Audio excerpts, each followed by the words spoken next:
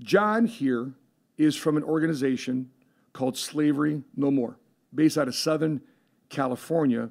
And he's going to unpack real quick for the first 15 minutes of the show what the actual business is of human trafficking and child trafficking and, and the things that we can do as parents, as concerned citizens, and also the, the aspect of a case study that he's actually working on right now, a live case study, an op that he's working on right now. So coming to the show, creating a tremendous light in this dark world is John. John, how you doing? Hey, how you doing, man? I appreciate I appreciate you, you I appreciate you coming on, man. So let's jump into it. What what's the case study you're working on right now of, of in, in human trafficking?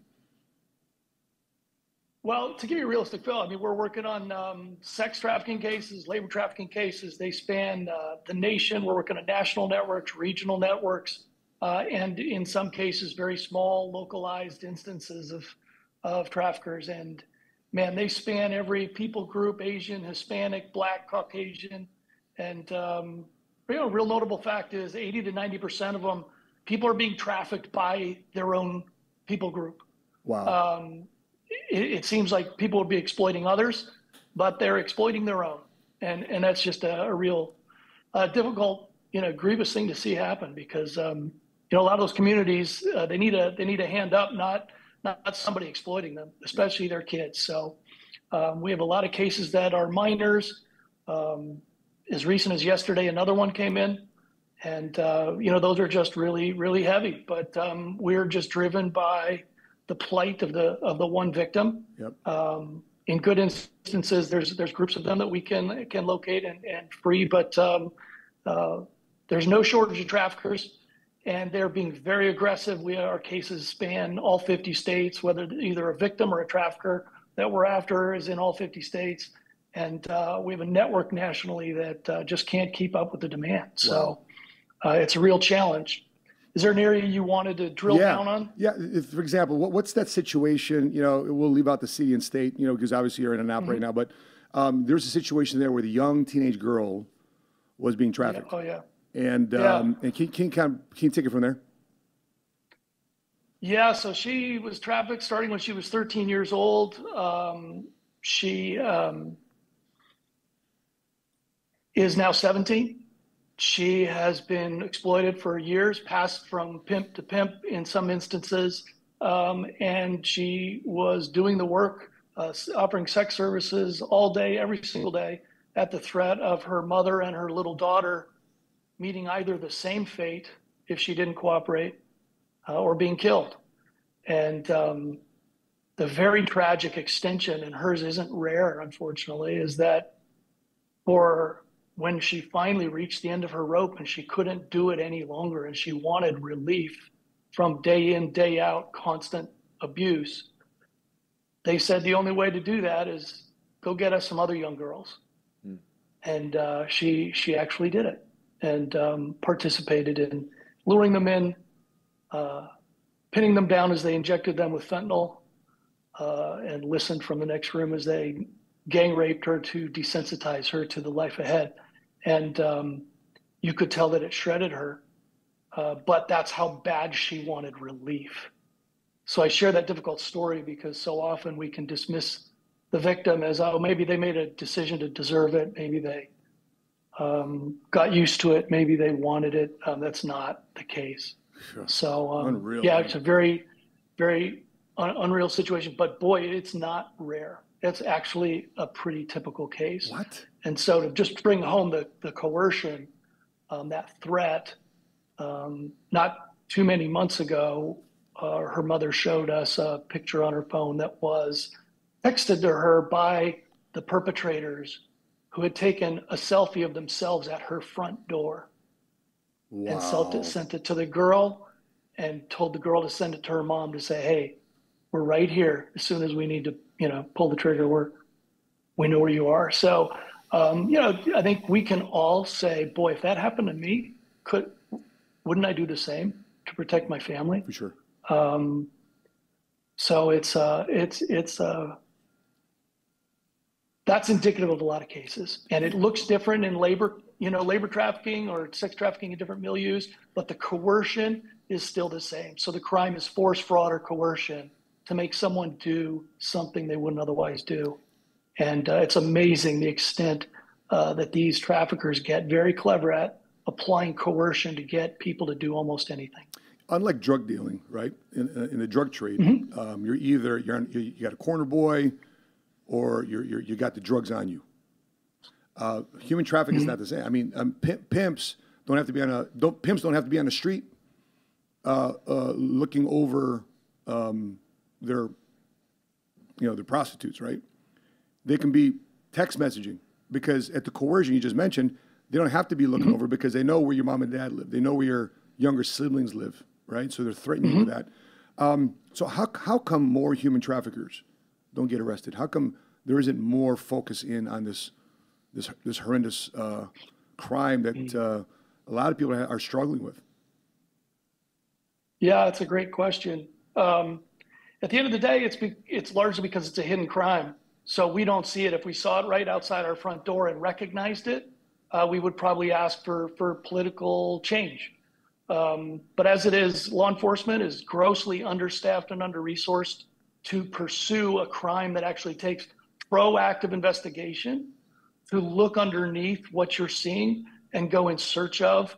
Um, literally, uh, 1% of victims self report.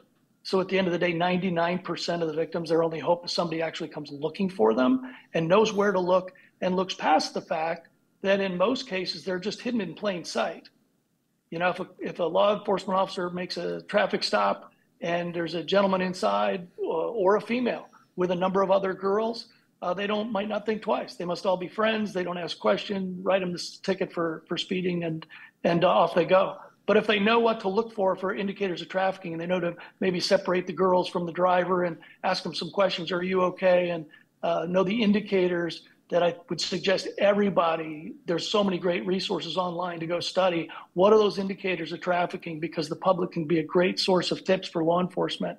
But if uh, you don't know what to look for, it's hidden and if it's hidden, uh, a district attorney, a mayor, they don't have any motivation to go uncover it. That increases their crime stats in their in their city, makes them look bad in some cases, right? So it's better to just leave it alone. Um, and it also takes a lot of resources to go investigate. So it's easy for them to look away.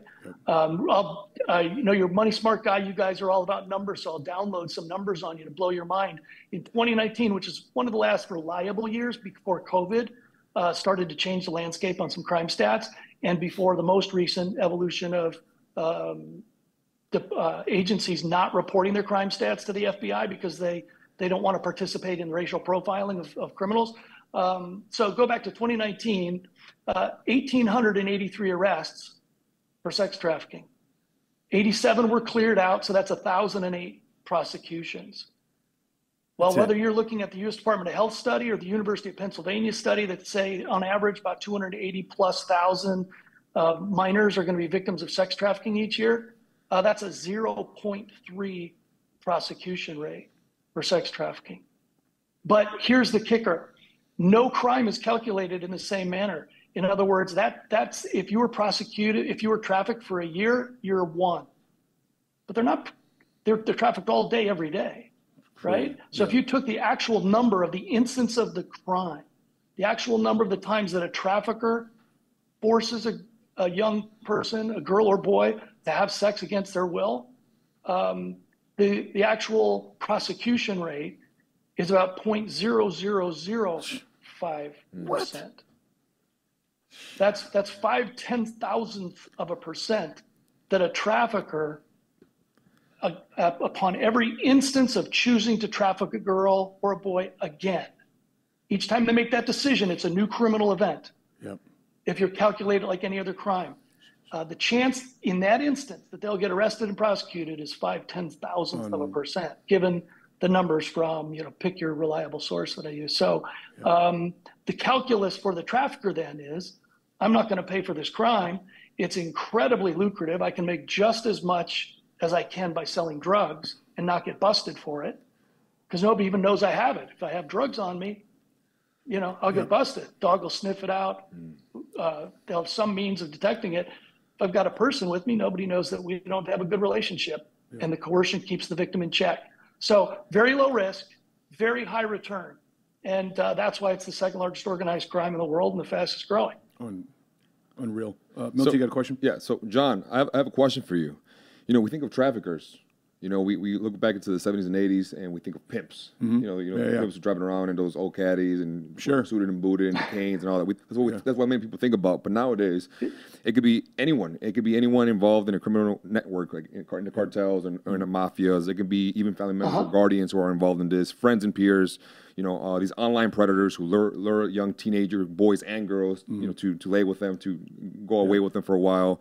You know, it could even be corrupt officials. So my question to you sure. is knowing that there's now a broad span of who can be involved, how do we go about identifying the individuals, the individuals who are actually involved in recruiting children, young girls, young men for sex trafficking?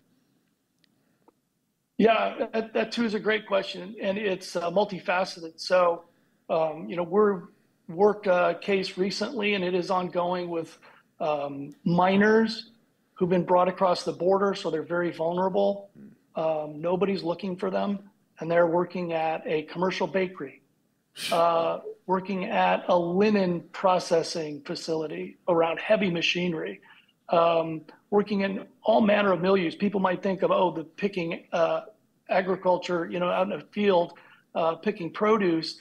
Um, well, no, they're in actually businesses and from uh, hospitality to restaurants to nail salons to again manufacturing facilities, uh, service uh, facilities, um, selling things on the street, door to door sales. So here's the point: they're in every milieu where a quote unquote business person wants cheap labor, and oftentimes they'll get that from a labor contractor, so that they're a step removed from actually recruiting them, and they're managed by the labor contractor.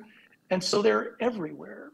And so how do you find a victim everywhere? You have to know what a victim looks like. Mm. And so that that is back to the indicators that I was discussing earlier. And that's pretty in-depth training of everything from um, wounds, uh, signs that somebody might have been restrained, signs that somebody, um, a person isn't carrying any possessions, a person looks like they're utterly deferential or controlled by somebody that they're with who speaks for them all the time um, people who look malnourished or underrested or abused in some way, people uh, in a group setting who look nervous, uh, people who don't have the normal possessions. If you see a, let's say, a teenage girl without a cell phone, how often do you see that? Sure. Yeah. Well, ne- you know, never. That, that jumps out at, at you, right? And um, so there's just so many, and, and I think the biggest, the, the clearest way is something doesn't look right. And I think that's when they say, if you see something, say something. That's true in the human trafficking world is if something just doesn't look right, stop and take note of how that person is uh, interacting with the people around them. And um, you, you might be surprised at the indicators that will really stack up fast that that person might not be in control of their own actions. One last thing before I let you go, uh, John, uh, let, let, me ask you a question about um, what can we do as concerned citizens? What can we do, policymaker wise? Um, uh, uh, who, who's who's um, whose phone do we need to be calling? Who do we need to be petitioning? who who where do we make the noise? Yeah, uh, great question. And so you know, it's an it's a, a unpopular response to say that the biggest need is resources because it takes resources to go out and initiate the investigations that are going to lead to traffickers getting arrested sending a deterrent message in a community, and it's going to lead to the rescue of the victim. So, primarily pick your anti trafficking organization and support them with the resources they need to go out in the community and do the work because law enforcement is uh, grossly understaffed to do it. But that is then that next thing we need to solve. Call your your mayor, your state representative, your national representatives. Um, you know, every great social movement in history has has happened because public intolerance rises to a level where people say no more. Yep. And there's a point where politicians will respond and allocate more resources to investigations, and they will uh, pass laws with tougher sentencing. That's another one. There's sentencing uh, guidelines now that are being loosened yep. around the country, yep. and people set free. All that does is embolden traffickers. Yep. So uh, last week, Biden's tougher sentencing and Pardon, go ahead. Yeah, last week Biden's uh, Department of Justice they removed human trafficking as an area of concern. Removed it from the list of areas of concern. To your point. Yeah, tragically, we could talk for hours about yeah. the number of instances around the country where that's happening. So yeah. everybody, know, be active in your community, talk to your representatives, and mount. You know, you everybody's part of groups. Mount up your teachers, parent teachers association. Mount up your church. Uh, mount up whatever group you're a part of, and have them all in numbers. You know, crash your uh, um, not debilitate, but uh, call uh, with fervor uh, email, call your representatives and let them know that you actually do care about this. Yep. And if we can get a groundswell of public discontent to rise, uh, then they'll start allocating the right resources, change the laws, and send a deterrent message to bad guys. So, um, you know, all you have to do is stare one victim in the eyes, and that haunting thing will never leave you, and you will not be able to disengage. So, yep. um, I encourage everybody to get involved before it actually uh, becomes something that that ha- you know impacts you directly.